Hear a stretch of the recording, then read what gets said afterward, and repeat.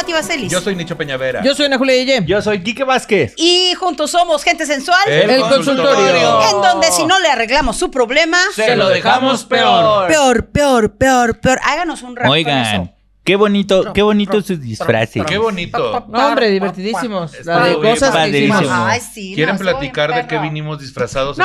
No, no, muy cansada de eso. Ya platicamos mucho de eso. Ya platicamos mucho de eso, ya, ya sabemos La todo lo gente que ya pasó. comentó, ya Ajá. le gustó. Ya hizo memes incluso la gente. Ya hizo memes. Sí, Ah, cierto. qué padre. Pero hoy es el 7 de noviembre y es... Es el 7 de septiembre la Ah, canción. perdón, perdón. Ay, perdón. ¿cómo eres? ¿cómo eres? Pues es como la canción. Es que no estamos haciendo impro, sí, no es. Sí, y además. O sea, también. Ya vayan quitando su ofrenda y vayan poniendo la Navidad. Ya es el Oye, momento. sí. Ay, desde Si agosto sobró me están pan de muerto, échenlo correteando. ¿Desde agosto? Desde agosto ya sacan todo lo, eh, en los pasillos de las tiendas ya está lo de Navidad y todo. Y yo, espérenme tantito, Por, si todavía no por cierto, en estas fechas actuales, ¿alguien sabe dónde vende pan de muerto? Bueno, En ahorita. cualquier lado. En Malinalco. No, pero bueno. No Ah. sé. Riquísimo. Uf. No, pues, Riquísimo. Y en Malinalco hay varias como festividades y hay una donde vas pasando y la gente te ofrece de sus casas, como en varias, como en varios pueblos mágicos, te ofrece de su casa que tomes ahí algo de la ofrenda. Puedes dejar algo y tomar algo. Pero el pan de muerto de Malinalco está muy bueno en, en las panaderías de ahí de alrededor. Muy buen pan de muerto. Uf. Muy bonito. Pero pues este, supongo que ya pasó esto, pero podremos hacer un tour de panaderías. Ay, por favor. Oye. Por favor. Está manches, chingón. Mira, Va, va, va, va, Podemos va. hacer el tour de panaderías buscando pan de muerto y ya va a haber rosca de reyes. Exacto. Eso. Sí, y Es eso más, lo metemos al Patreon. pod- Exacto, podríamos hacer el tour de panaderías. Yo ya tengo una donde los quiero llevar. Bueno, sí, ya lo pensé. Uy, Va, yo va, tengo va, va, varias, va, va, va. varias. Entonces váyanse al Patreon, por favor, porque ahí estamos metiendo contenido exclusivo, juguito de basura, donde los casos hacemos que apesten. Que Ay, por señor. cierto, este, también para los que decían que no. No, yo no sé nada ya. que Mira, para los que decían que no estamos en plataformas de audio, sí estamos en todas las plataformas Sí de audio, en de Spotify, en Apple Podcasts, en Google Escúchenos. Podcasts, en todas esas cosas. Yo, ¿sabes qué voy a hacer, güey? Me voy a poner una botarga para que así ya pueda expresarme a gusto adentro de la botarga. Decir, Máscara de luchador. decir, ay, güey, la burrita burrona, sí es cierto. Ah, Por mira. el trae su botarga, puede decir Se cosas bien caer, culeras se sin sentirse mal. Ajá. Yo Sí, las hago, pero sin botarga. Me voy a poner una botarga. ¿Qué, Ay, ani- es que qué es animal personaje. podría ser? Un elefante. Un, No. un colibrí. Patas Un verdes. colibrí, un patas verdes. Patas verdes, güey. Sí, Pero es que la rana no me gustan. ¿Qué animal me gustan? Ah. Los perros. Una mariposa. Un mariposaurio. mariposa. Podría ser el mariposaurio. Mariposa. Ay, Con tus alitas como las que usa Frida Y sus Araujo. manitas Como- así como- Nicho el mariposaurio. ¿Y cómo se Sí. llamaba esta caricatura de era una hipopótama con alas de mariposa? Ah, Ya, chinga. Posa, termina Ah, que, en posa. que de hecho. Hipoposa, no. Hipoposa. Mari. No, era en. Animaniacs, era un matrimonio de hipopótamos. No, No, güey, era una caricatura que uno era eh, abeja y león. Eh, el otro era Ah, este caballito cuál. de mar y alce. Ay, Colitas. sí. No, no era colitas. El otro era una mari- un hipopótamo y mariposa. Y. Ay, pero termina en posa, pero no me acuerdo. Si usted se Ja- acuerda. Jorge Poza. Una aquí. caricatura Pues de. es que es más gringa esa caricatura. Reposa. Hipopótamo, Posa. mariposa. Osaposa, osaposa. ¿Osaposas? ¿Osaposa? Osaposa. No, osaposa sí era una osa, mitad osa, mitad Ay, de mariposa, oso, ¿no? Nicho. Ponte de oso. De oso. Ah, sí. Podría ser un oso. Ay, sí, estaría bien chido. Ahí está, voy a pedir la botarga. Esa- Es Oigan, Un oso. Mm, esa. Se llaman los Guzles. Sí, pero no es mariposa. Hay una que es osaposa, mariposa y oso, pero esta es hipopótamo y Ah, conejo. Hiponeja, es que mira, hiponeja. este, este es un eh, elefante que tiene alitas. Sí, este es cangufante. El Ay, el cangufante. Cangufante, está Ah, osaposa, está Paso de eh, esas hiponeja. imágenes. Ay, qué bueno. Y poneja, claro, que es un conejo. Dice, ¿por qué hiponeja? Sí, Porque ponte- soy hipopótamo y. A ver, el, otro es, es- el otro es abelión, si no me equivoco, porque es Abelión, abejorro y león. El abelión. Y el, y el que es este calam- el que es caballito de mar y alce A la es madre. este Caballalce. Caballalce. hipo, hipoalce, no, es este Hipoalce. no, quién sabe, güey. Alce. También ¿qué hay uno que es un chango, un chango como con una nariz de unicornio. Ah, sí. El changocornio. No, monocornio. unicornio. A ver, voltealo. No es unicornio, es. El este- changanocha. Ay, no me acuerdo. Monoceronte. es, no es un monoceronte. Pulpanocha. Ah, ya. Ese es de otra caricatura.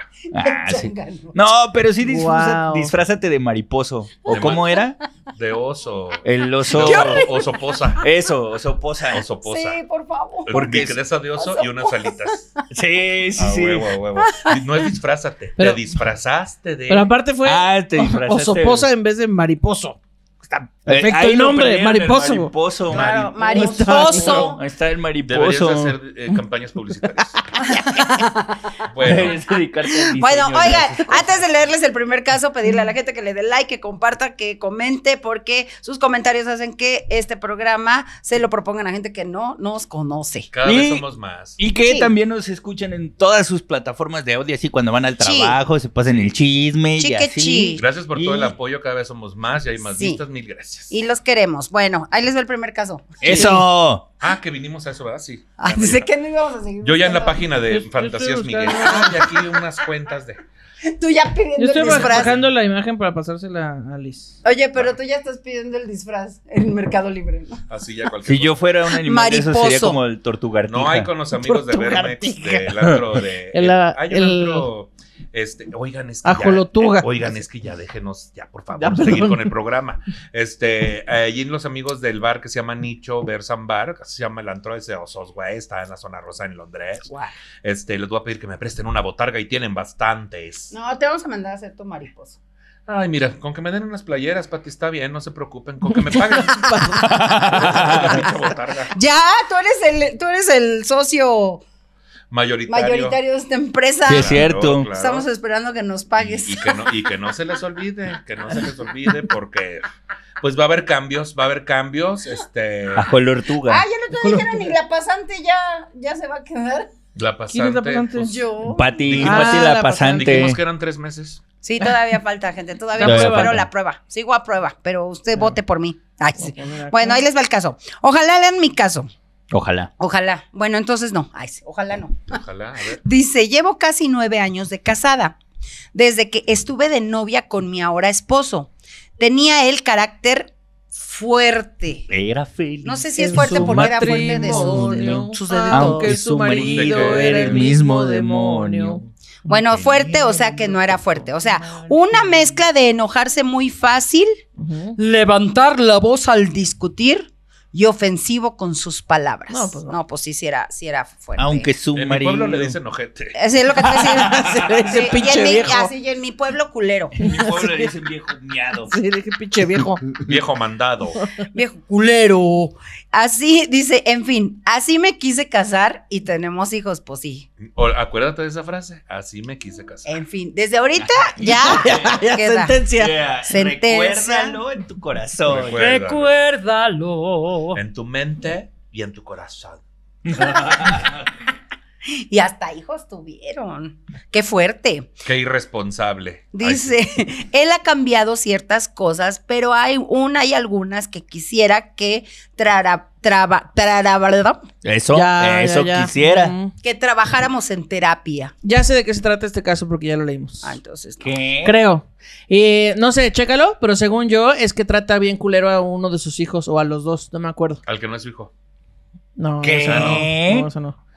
Pero sí, el güey es bien pinche neurótico y tiene un hijo que es más chico, algo así, y entonces pues cada que hace una travesura el güey se pone como pendejo y entonces lo insulta y lo agrede Y. Pati. Me detengo en la puerta. ¿No es ese? Es que este lo, lo acabo de mandar hoy. A ver, a ver. ah, bueno, síguele, síguele. Bueno, ahí cortas. No, no, que Este, siga, que siga, por favor, adelante, averiguémoslo a continuación. Ah, ok. Y ofensivo. en- Él ha cambiado ciertas cosas, pero hay, una, hay unas cosas que quisiera que trabajáramos en terapia, ¿verdad? Ojo, él viene de padres aún casados, pero sufrió mucha violencia en su infancia, maltrato físico y verbal. Yo vengo de madre divorciada, de un padre que nunca quiso una relación conmigo, pero tuve una niñez muy hermosa. De criar a nuestros hijos, él es un tanto ofensivo. Ah, perdón, no es cierto, una niñez muy hermosa. Lo digo porque al momento de criar a nuestros hijos, él es un tanto ofensivo con sus palabras. Se le hace hasta gracioso decirle güey, gorda, bruto a los niños. solo por mencionar ejemplos. Siempre me molesta porque mi hija tiene ocho años y no quiero que le afecte su autoestima. Y mi hijo tiene seis y es muy introvertido y calmado, serio. Y a mí no me afecta en lo absoluto. Al contrario, yo trato de dejarlos el tal cual son y que vivan su etapa de niños felizmente, pero con el niño también se la pasa sobajándolo. No sé cómo tratar nuevamente este tema que me molesta con él, sin causar un problema con el señor y que no se ofenda. Gracias y perdón por mi eterno mensaje. Es el mismo. ¿Sí? Sí.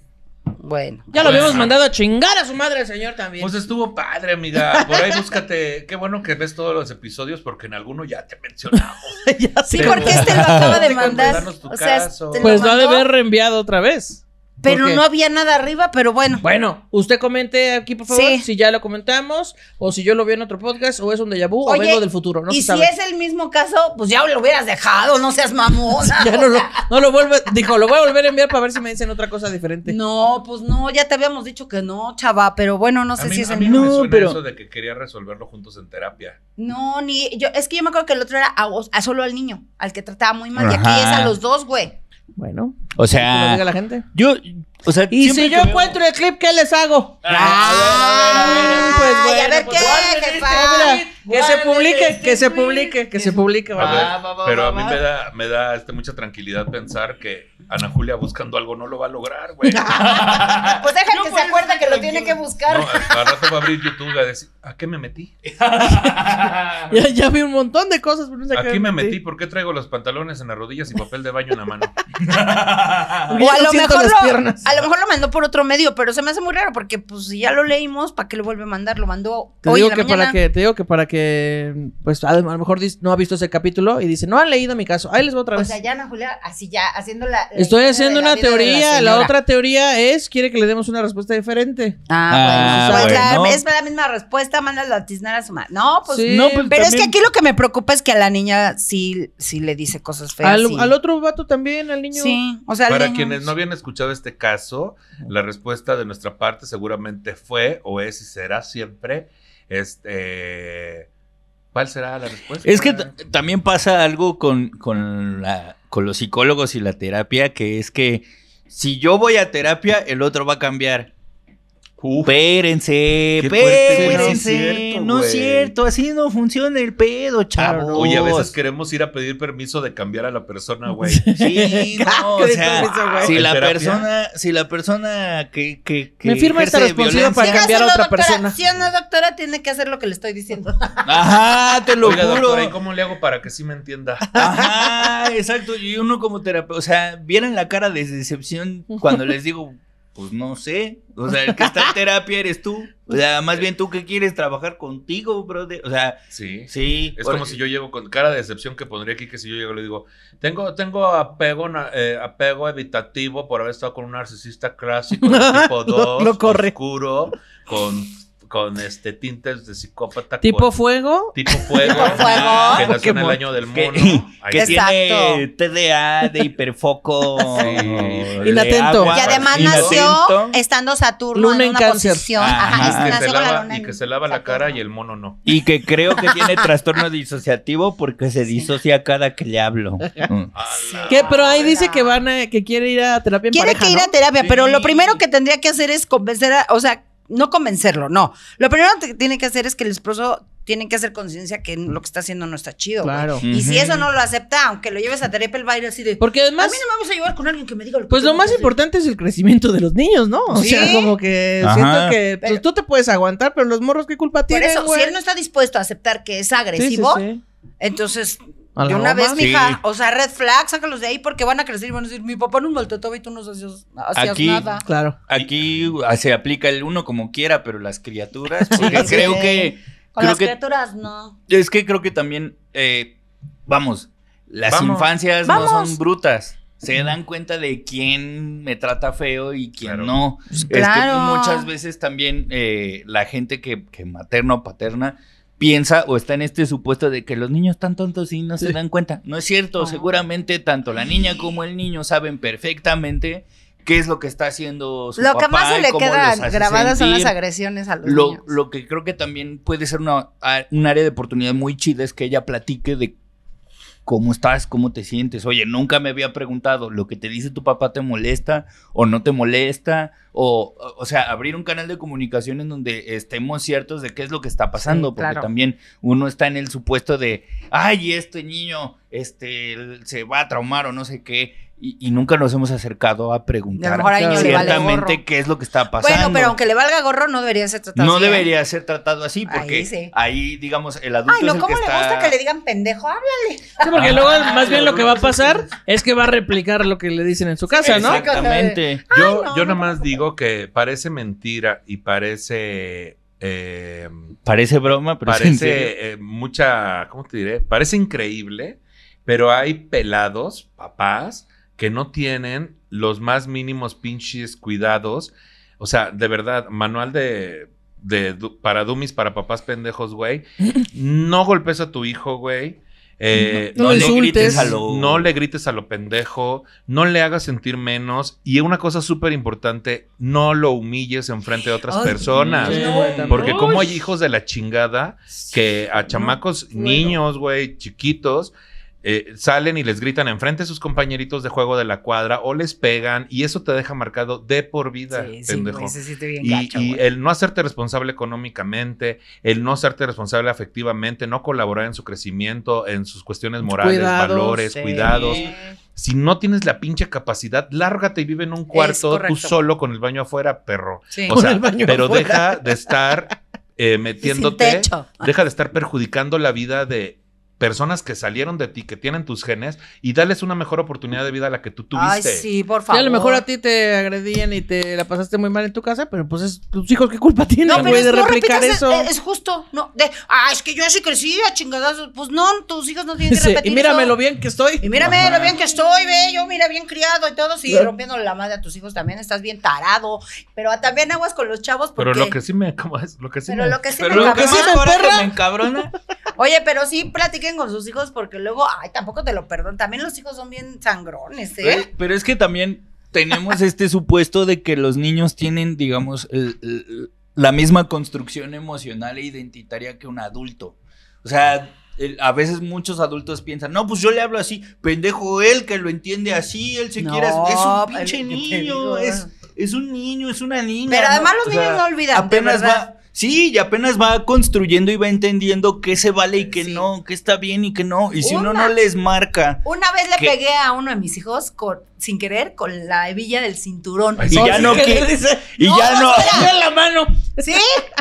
y ya no quiso salir de su cuarto nunca. También a uno casi le corta la cabeza con una ventana de coche. A Ay, la no. chingada. No, pero eso fue totalmente mal, que yo tenía el cinturón pegándole a la mesa porque te- te- ¿Cómo? eran los tres era un desastre. Como perro y entonces ruido. bien idiota porque a la hora de que le hago así, se me rebota la hebilla y le cae en la cabeza a uno de ellos. Ah, fue el, fue el niño que falleció, el que está Exacto. El que está muerto por dentro, te decía. Sí, el que se llama Carlos El II. que se llama Carlos II.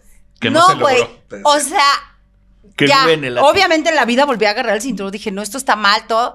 Bueno, él, todo, pues se puede, se puede olvidar de todo lo bueno, pero lo que nunca me va a perdonar es, tú me pegabas con la hebilla del cinturón. Y yo, no. A mí mi mamá solo dos veces en mi vida me cacheteó y he de reconocer que fue muy merecido. dos veces. Una tenía yo 14 años y otra 15, creo, güey. Pero, uy, ¿cómo Una me lo año. gané, güey? ¿Cómo Una- me lo gané? Una vez mi mamá me dio un, me dio así en la boca, así con la mano cerrada. Ajá. Y como que mi labio chocó con mi diente y me abrí. No, hombre. un se lo recuerdo hasta la fecha. Y mi mamá, no mames, te hubiera pegado más seguido. Es lo que te digo, no te que nada más de una se acuerdan, de una y tú, ay, híjole, o sea, ni que te hubiera golpeado toda tu vida, Ay, pero pues bueno. yo sufrí mucho. Ay, Yo, sí. yo me acuerdo Ah. de una que me, di- me hizo mi papá. Obviamente también me la gané, pero es que desde niño era bien basura. Porque, No lo vi venir. porque me, me da la bofetada y yo pues obviamente lloré y todo. Y ya después de un tiempo llegó mi papá y me dijo, no, perdón, estuvo mal, bla, bla, bla. Pero ya levántate del piso. Te digo, Pe- si, si corres y no te que- alcanzo, no te pego. No, Es que lo te digo como te pares y tortuga no me haces caso. Fíjate, fíjate que según yo, mi papá nunca me puso una mano encima ni nunca me regañó, pero también ese es el otro lado, güey. O sea, es como, Pues si no quieres Nunca no estaba, güey. Nunca me dijo, nunca estuvo. Nunca estuvo. No me dijo ni buenos días. qué loco. No, pero ¿y luego tu papá Sí. qué? Eh, ¿Le pidió oh, perdón? Ajá, y después volví a hacer alguna travesura y me dijo, te voy a dar una cachetada y que le contesto para que me pidas perdón después. ¡Eras bien basura, güey!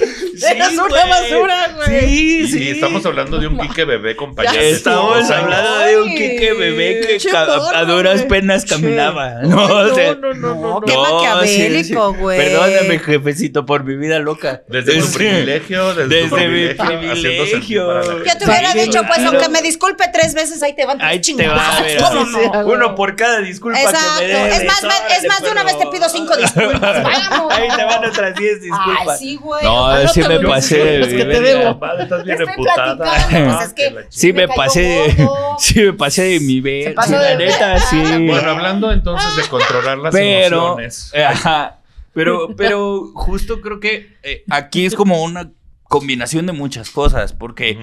eh, eh, en terapia hay algo que, que se llama conciencia de malestar. Y por eso la terapia no funciona si tú no entiendes que algo que está pasando no está chido. Entonces, Sí. por- o sea, no es que sea como magia de hasta que uno no acepte la ayuda. No, no se trata de eso. Es que tienes que entender que hay algo que no estás pudiendo lograr y que no te está trayendo bienestar a tu vida. Hasta que eso no suceda, una persona no va a ir a terapia. Sí, Entonces, si ella va a, a- a terapia, que trabaje maneras efectivas o maneras de comunicarse con sus hijos para asegurarse de que lo que está haciendo el papá no está bien y cómo comunicarlo con sus hijos. Y Porque a también veces... que aprenda a comunicarse con su marido, porque No, y también, o sea, porque hay algo que se llama, eh, es una esdrújula, se llama lexitimia. Ah, yo pensé que supercalifragilístico espialidoso. No, esa creo que es sobre Yo pensé que esdrújula. tuétano. Sí, cierto. Yo pensé ¿Qué que es es zoológico. Que lleva el acento en la en lo Sí. lógico. sí. Pero- Yo todavía lo, lo dividí. Oh, sí. Como el lógico también solo lleva Intrínseco. Sí, no. Oye, los acentos, qué importante. ¿Cuándo Sí. aprendimos? Ay, la, oigan, la, la lexitimia es... Una medicina. no, no. Ah, Ese, es bueno el, me dice. ese es el hexapro. Eh, la Ah. lexitimia... ¿Y el hexatlón? Ese El es hexatlón es un programa. No. La, la lexitimia es básicamente, eh, si lo puedo traducir en términos simples, es la ignorancia de las emociones propias. Ok. O sea, No sé cómo se llama lo que siento. Wow. Wow. Solo siento, pero No le referencia. pongo, no, no tengo referencia. A eso se le llama lexitimia. Pues Es muchos muy vatos común. heterosexuales cisgénero Exacto, esa justo madre. a eso iba. Uy, A los Estoy- hombres no se nos casado. enseñan las palabras. Siento algo, estoy enojado. Eh, me cortó alguien, estoy enojado. No he comido, estoy enojado. No he cogido, estoy enojado. Ajá. Me contradijeron, estoy Estoy enojado. enojado. Se me cerró alguien en el tráfico, estoy enojado. Se me Ahora- murió alguien, estoy enojado. Pero Alexitimia que- no es un trastorno, solo es el nombre que se usa técnico Sí, al para decir al desconocimiento emocional. Y muchas personas reaccionan así justo porque no saben cómo lidiar con las demás emociones. Entonces, como desde niños o desde niñas nos pueden enseñar que enojarse está bien para cualquier situación, genera algo que se llama lexitimia, que es me estoy sintiendo no sé cómo y la única palabra que tengo de referente es enojado, pues he de estar enojado. Entonces reacciona de la misma forma. Quizá esta persona, este hombre, eh, tenga esto de la lexitimia y que lo que necesita es ir a terapia a conocer las emociones. demás Claro. emociones. Sí. No En su, intensamente nomás está el furia. Es un Ajá, lexitimioso. solo está rojo todo. A mí, a mí me suena que es la base perfecta para desconectarse e irse a los chingadazos contra otro cabrón. También. O sea, porque como no saben lo que están sintiendo, solo se sienten humillados o agredidos y se dejan con todo, güey. Y, y- y eso está, eso está peligroso. O sea, eh, en terapia, en sistémico, hay algo que se llama enmarcamiento, que es la manera en la que uno mira el mundo. El marco con el que uno mira el mundo. Entonces, si una persona enmarca el mundo con base al enojo, entonces todo va a ser interpretado con base en el enojo. Entonces, este güey me quiere chingar, yo me lo tengo que chingar primero. Me Este, ajá, exactamente. Pero todo es basado en el enojo. Entonces, es- hago mucho énfasis en que esto no es una patología, no es un trastorno, no es un daño neuronal, solo es algo que tenemos todas las personas. Eh, este marco de referencia lo tenemos todas las personas y la lexitimia es algo que tenemos muchas personas con base en muchas emociones. O sea, ahorita estamos hablando del caso específico del enojo, pero también hay gente que dice que está deprimida por todo. Pero puede estar melancólico, puede estar Claro. triste, puede estar cansado, puede estar abatido, puede estar preocupado, puede, o sea, Bueno, hasta ay, enfermo con una infección y crees que tienes este. Ajá. Oye, güey, ¿y no tendrá que ver también que estas personas, al no saber identificar sus emociones y ponerle el mismo nombre a todas, eso hacen también hacia afuera, güey? claro. Por eso de repente cuando alguien les trata de hacer ver algo, un punto de vista diferente, dicen, me tiene Ah, me envidia. tiene- o está me enojado humillar, conmigo. Está enojado conmigo. Seguramente está enojado por otra cosa. Claro. Este, sí, porque te etiquetan también tus emociones. Porque justo enmarcan la vida así. O sea, como todo está en función del enojo, como el otro está enojado conmigo y me lo quiere hacer saber, Ujú. no, no Claro. les cabe en la cabeza que hay otras personas sintiendo otras cosas, tratando de Claro. comunicarlas. Y eso es muy egocentrista también, ¿no? Cabrón? Es algo que le pasa, como dijo Kike, a todas las personas. No vaya a andar usted después diciendo, Ajá, "Oh, exacto. es que yo tengo lexitimia y Sí, perdón si estoy andan- muy enojado siempre. No, no. Ya- ya fui a terapia. Eso fue el pretexto, ¿no? Ya para No, estar. o sea, exacto, por eso hago mucho. Ajá, por eso hago mucho énfasis en que esto de la lexitimia solo es el nombre Sí, de un fenómeno no que es nos una puede enfermedad ni pasar nada, a ¿eh?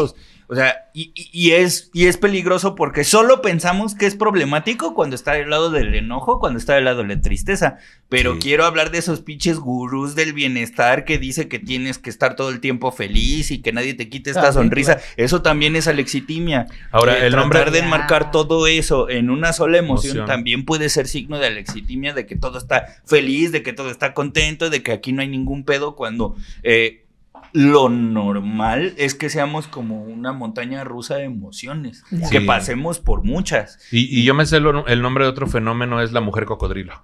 Ese siempre Es un iba... fenomenazo. Cuando yo iba fe- a la feria allá en mi tierra, a, las, a los juegos... Es que hay mucho cocodrilo. La mujer Ah, cocodrilo. Mucha mujer caliente. La mujer barbuda. La mujer barbuda. Este, ¿qué más está? La chica cocodrilo, La mujer gran araña. La canción. Sí, mujer sí. araña. La el mujer gato araña. muerde. Volador. Mucho fenómeno. El gato volador. El gato volador. Este, está el gato volador. la El baile del araña, perrito. Luego el fenómeno El, del niño. el chango dudoso. El fenómeno del niño. el fenómeno El- del el- niño. El, el fenómeno de la niña. el- De la mona la sensual. mona sensual, el, chan- el, El fenómeno del macho, momento. mango macho. ta, Ay, un ta, El fenómeno del momento. Lo bailan, ¿eh? No, dicen, el fenómeno del momento. La fiebre del mono. La Wendy del Zulka. La fiebre el del mono, El fenómeno Que se del rasque Que de de lado.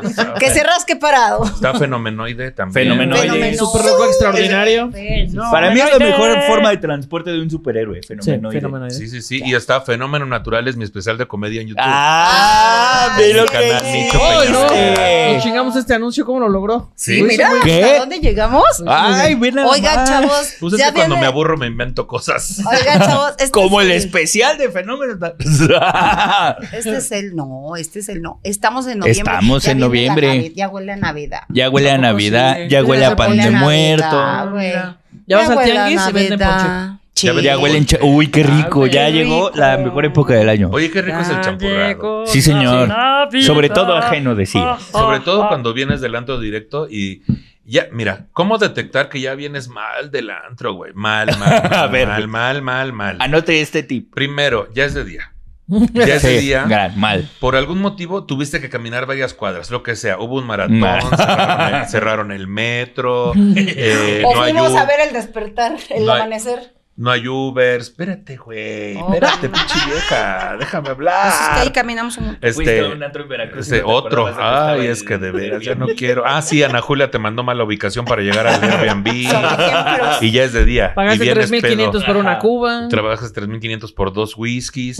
Pero cuando ya sabes que de verdad algo está pasando con tu vida, es que después de todo eso, llegas a tu casa con un champurrado y un par de tamales fritos. Fritos. fritos. No estamos hablando del tamal del día. El tamal frito es el que no se vendió. Sí, sí. Y ya está frito y quieres sentir en tu ser grasa escurriendo por tu cachete mientras te tomas un champurrado caliente, güey. Ese ya, Ya es un lo. Mira, ya. Sí. Mira, si que querían una señal de que están tocando fondo, Tamal frito. Está mal frito. a eso sabe tocar fondo. Tamal, Tamal frito, no hecho en casa, porque en mi tierra sí se recalientan los tamales, a veces fritos, a veces nada más Ah. así al comal.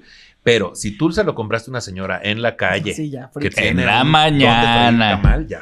Sácatela. Ese, no, pues eso quisiera, pero estoy comiendo tamal frito. No te estoy diciendo que iba yo solo, no hubo quien me Oh, detuviera. chinga. Me podría estar cuchareando, pero estoy comiendo tamal frito. A lo mejor esa es la consecuencia, como fui al antro y no me la saqué con nadie. tamal frito. Aquí, Tamal aquí puro frito. tamal frito.